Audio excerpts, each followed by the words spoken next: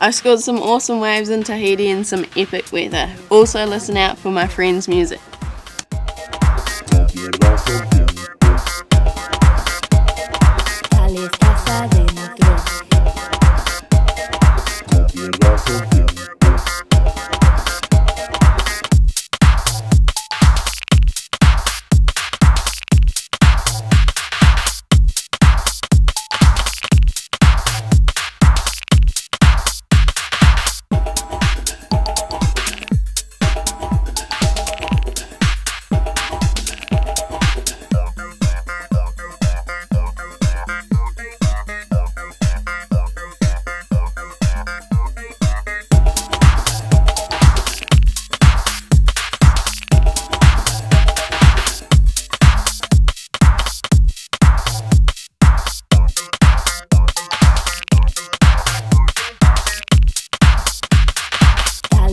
está dentro.